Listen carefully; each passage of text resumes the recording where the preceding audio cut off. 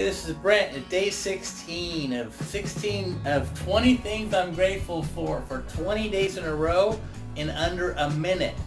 And today I'm grateful for my new version of me, my 2.0 version of me, which some have been implemented and some haven't, but these are the characteristics of that new version of me.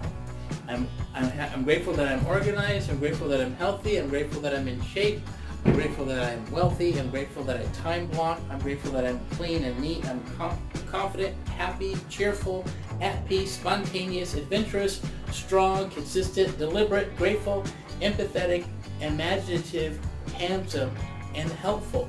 So that's. Hey, I wanted to say that staying positive is not easy. I know it's not, but I do challenge you to do the same thing every day.